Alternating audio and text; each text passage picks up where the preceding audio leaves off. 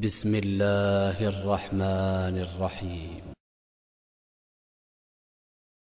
وذكر فإن الذكرى تنفع المؤمنين.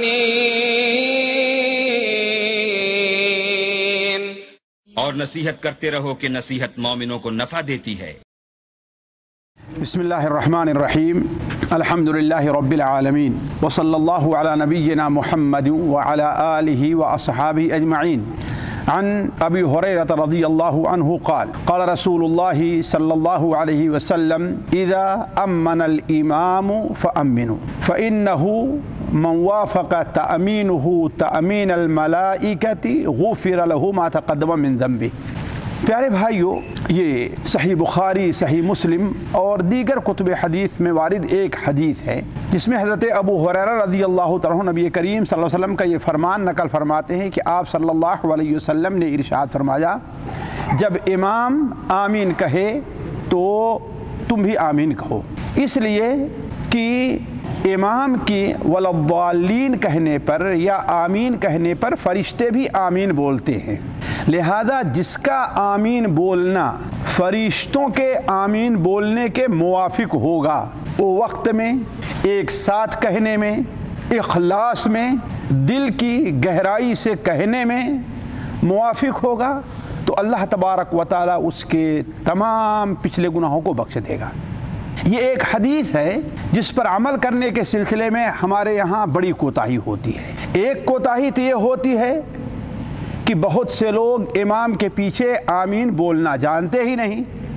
اور اگر جانتے ہیں تو دبے الفاظ میں کہ کوئی سن نہ سکے، امام بھی آہستہ سے آمین بولتا ہے اور لوگ بھی آمین آہستہ سے بولتے ہیں۔ دوسری صورت یہ ہوتی ہے کہ بہت سے لوگوں کو آپ دیکھیں گے کہ ابھی امام غیر المغضوب علیہم والضالین تک پہنچا نہیں۔ ابھی نون پر پہنچا ہی نہیں یا نون پر پہنچ ہی رہا ہے کہ پیچھے سے آمین کی آواز آنی شروع ہو جاتی ہے، یہ دونوں طریقے غلط ہیں۔ اس حدیث کے الفاظ پر اور آپ غور کیجیے تو ہمارے اور آپ کے لیے اس حدیث میں کئی فائدے ہیں۔ پہلا فائدہ وہ یہ ہے کہ امام کے پیچھے آمین بولنے کی فضیلت۔ کہ اگر کوئی شخص امام کے پیچھے آمین بولتا ہے تو پہلی فضیلت تو یہ ہے کہ امام کے غیر المغضوب علیہ مرضالین کہنے، آمین کہنے پر اللہ تعالیٰ کے فرشتے آسمان میں ہوں تو اور زمین میں ہوں تو وہ بھی آمین بولتے ہیں۔ دوسری فضیلت یہ ہے کہ اگر کوئی شخص امام کی قرآت کو اچھی طریقے سے سن رہا ہے اور اس کے آمین بولنے کے ساتھ یا اس کے بعد آمین بولتا ہے، تو اللہ تعالیٰ اس کے تمام پچھلے گناہوں کو بخش دیتا ہے۔ دوسرا فائدہ یہ ہے کہ امام آواز سے آمین بولے گا۔ کیوں؟ اس لیے کہ نبی صلی اللہ علیہ وسلم فرمایا کہ اذا امن الامام، جب امام آمین بولے تو۔ اور ظاہر بات ہے مقتدی امام کے آمین بولنے پر آمین بولیں گے، تو جب امام کی آمین کو سنیں گے ہی نہیں، تو آمین کیسی بولیں گے؟ تو آپ نے فرمایا جب امام آمین بولے تو تم بھی آمین بولو۔ جیسا کہ صحیح بخاری شریف میں یہاں پر یہ حدیث ہے، اسی باب میں حضرت عبداللہ ابن زبیر رضی اللہ تعالیٰ عنہ کا یہ عمل ہے کہ وہ جب امام ہوتے تو آمین بولتے اور ان کے ساتھ ساتھ پوری مسجد والے آمین بولتے تو مسجد میں آواز کی ایک گونج اٹھتی تھی۔ یعنی مسجد گونج اٹھتی تھی۔ تیسرا فائدہ جو بڑا اہم ہے مقتدی امام کے آمین بولنے کے بعد فوراً آمین بولے گا۔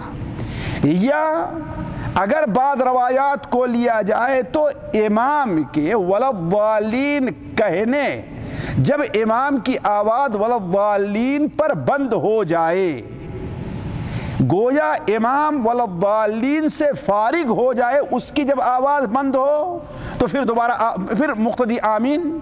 بولے۔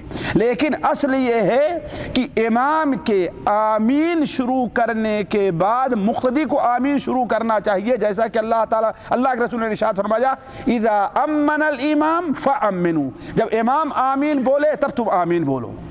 اور اگر امام آمین نہیں بولتا ہے یا امام آہستہ آمین بولتا ہے پھر بھی مقتدیوں کو آمین بولنا چاہیے۔ کیوں؟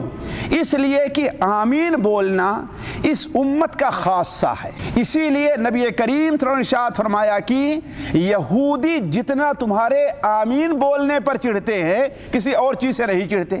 اور ظاہر بات ہے، اگر یہ آمین آہستہ بولی جائے یہود کے چڑھنے کا معاملہ کیا ہے؟ اس کا مطلب مسلمانوں کا خاصہ اور شعار یہ ہے کہ آمین کیسے بولے؟ بلند آواز سے آمین بولے۔ علا کل حال اس حدیث سے آمین بولنے کی فضیلت، آمین بولنے کا وقت اور آمین بولنے کے ادب کا فائدہ ہمیں حاصل ہوتا ہے۔ اللہ تعالی ہم میں سے ہر شخص کو اس مبارک حدیث کے اوپر عمل کرنے کی توفیق عطا فرمائے۔ والسلام علیکم ورحمۃ اللہ وبرکاتہ۔